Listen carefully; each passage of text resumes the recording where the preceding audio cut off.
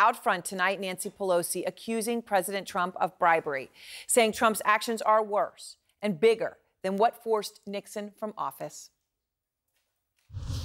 What President Trump has done on the record in terms of uh, acting to advantage his a foreign power to help him in his own election and of the uh, obstruction of information about that, the cover up makes what Nixon did look almost small. The devastating testimony corroborated evidence of bribery uncovered in the inquiry and that the president abused power and violated his oath by threatening to withhold military aid and a White House meeting in exchange for an investigation into his political rival.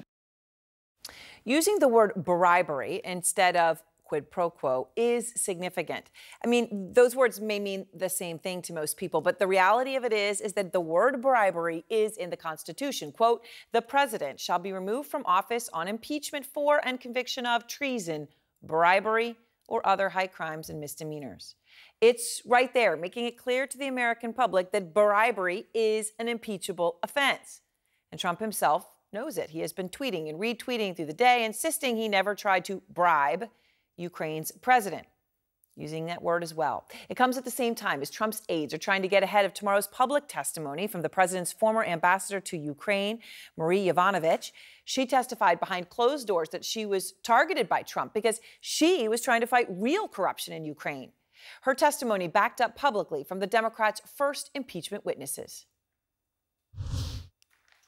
Of 2018 and 2019, I became increasingly aware of an effort by Rudy Giuliani and others, including his associates Lev Parnas and Igor Fruman, to run a campaign to smear Ambassador Yovanovitch. The former ambassador, Masha Yovanovitch, has been treated poorly, caught in a web of political machinations both in Kiev and in Washington. Tonight, the White House responding, an official suggesting, well, the attacks on Yovanovitch aren't impeachable, adding, quote, ambassador serve at the pleasure of the president. Well, Yovanovitch, not the only one who will be testifying tomorrow. There's going to be another crucial testimony. The diplomat who is said to have overheard President Trump asking Gordon Sondland about the status of the investigations in Ukraine is also going to be meeting with investigators tomorrow. Kaitlan Collins is out front live outside the White House. So, uh, Kaitlan, how is the president reacting today to all of this? Well, Erin, yesterday the president said he hadn't watched a minute of the first public hearing, but today he said only normal normal people who had watched it would shut the impeachment inquiry down after seeing George Kent and Bill Taylor testify. And that comes as not only the White House, but Republicans are leaning on this defense of saying that there was nothing new learned yesterday, which just simply isn't true, as you just noted by what Bill Taylor said, drawing the president closer to this pressure campaign than we've seen from any of these other closed door testimonies so far.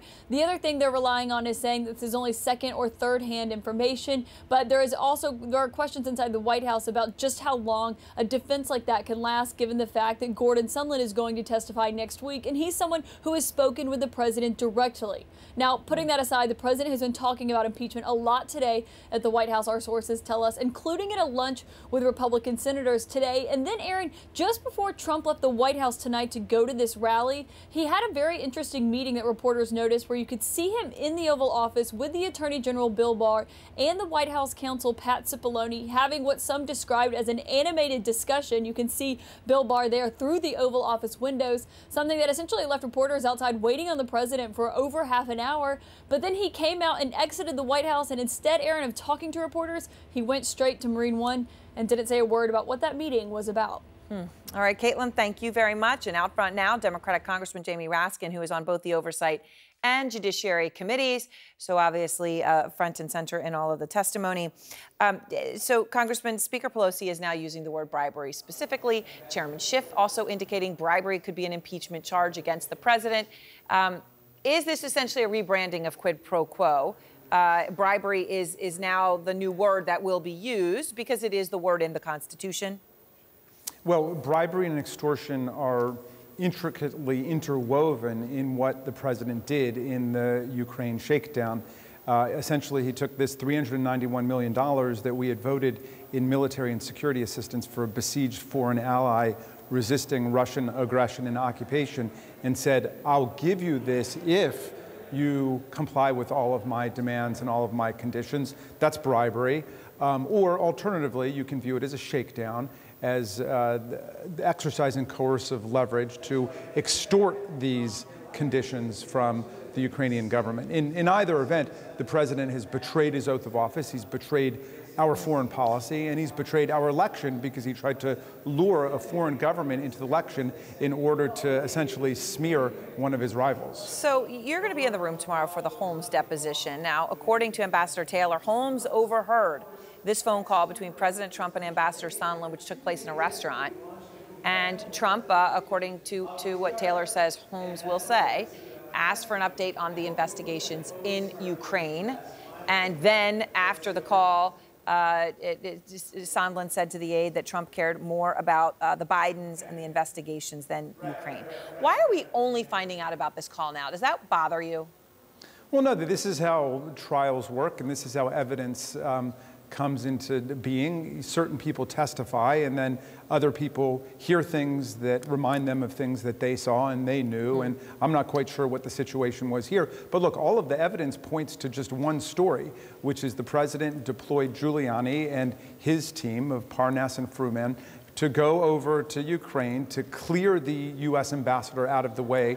And we'll hear about that hmm. tomorrow with Ambassador Yovanovitch's testimony to get her out of the way in order better to apply direct pressure onto the Ukrainian government to do the political bidding of the president. And all of that was about his personal reelection. It had nothing to do with the strategic foreign mm-hmm. policy objectives of America, much I, less the defense of democracy and human rights in so Ukraine. I want to ask you about Ambassador Yovanovitch in a moment, but, but first on Holmes, when you say you're not quite sure what happened there, what kind of questions do you have? What do you want to know from Holmes tomorrow?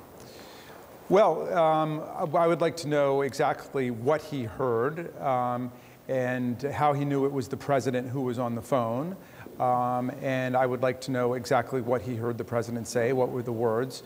Um, and, you know, this is just one more piece of evidence that fits into an entire sequence of events. There's no rival hypothesis out there about what happened you know, all of the bricks are adding up to one big wall, which says the president tried to exercise coercive control over Ukraine or to bribe Ukraine in order to do his political bidding. So you're talking about all these bricks adding up to one big wall, and yet multiple sources are telling us that in a private meeting this week, Speaker Pelosi and her top lieutenants were skeptical uh, that there would be any dramatic shift uh, in public opinion even as these uh, public hearings are getting underway. Do you share that skepticism or not, Congressman?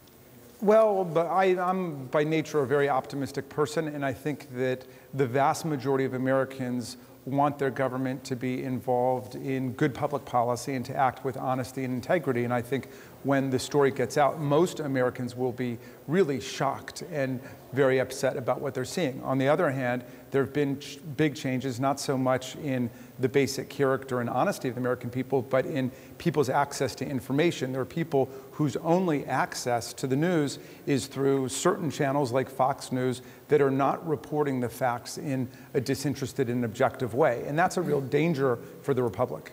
So tomorrow will be the second public impeachment hearing. Obviously, you referenced uh, Ambassador Yovanovitch. She's going to testify about an alleged smear campaign against her, which led to Trump getting rid of her. The thing is, uh, the Trump owns that, right? He says, absolutely, that's what I did. And uh, the White House tonight is telling CNN, quote, is that an impeachable offense? Ambassadors serve at the pleasure of the president. Um, eh, does the president need to give any uh, reason really at all to get rid of an ambassador, or, or is he on more solid footing on this? Well, I think that just confuses the issue. They're answering the wrong question. No one is saying impeach the president because he removed an ambassador. The question is whether the removal of the ambassador was for reasons of clearing all obstacles to their political and financial schemes in Ukraine. And that's what took place with Ambassador Yovanovitch. Uh, Rudy Giuliani and his team wanted to get rid of her so they could exercise the leverage over President Zelensky that they wanted. She was a real corruption fighter. They were on the side of all the corruption. They were trying to exploit the corruption and direct the corruption at Zelensky so the president could get the favors that he wanted. She got in the way because she was forwarding the real American policy, which was to oppose corruption in Ukraine and to try to nurture and strengthen democratic institutions there. All over Europe, all over the world, there's a struggle between the tyrants and the despots, Putin's team and Orban's team. They're all on the side of corruption, and she was opposing them, and they wanted to get her out of the way so the president could essentially work his will on Ukraine.